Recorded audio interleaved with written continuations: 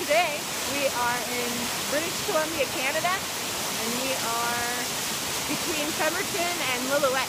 And we are near the Stein Valley Provincial Park, which we talked to some locals to try to get information about some hikes in there, and nobody really knows much about this park or how to access it. It's kind of weird.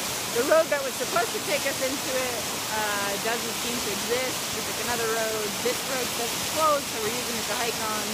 Pretty crazy. But, uh, very scenic, snow-capped mountains, our own waterfalls that few people are seeing in the area.